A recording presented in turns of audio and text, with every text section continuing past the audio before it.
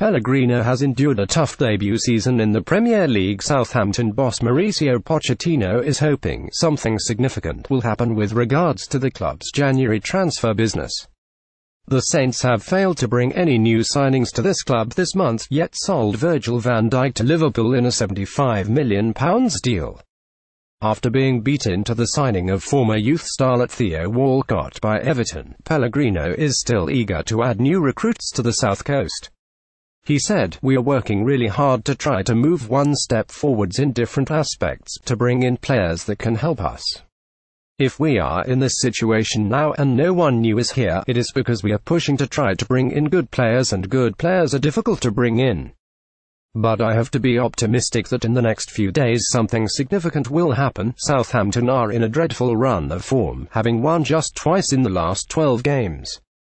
The drastic decline has seen them fall to 17th, just one point above the relegation zone. Tottenham are the visitors to the St Mary's Stadium on Sunday, and you can listen to the game on TalkSport from 4pm on Sunday here.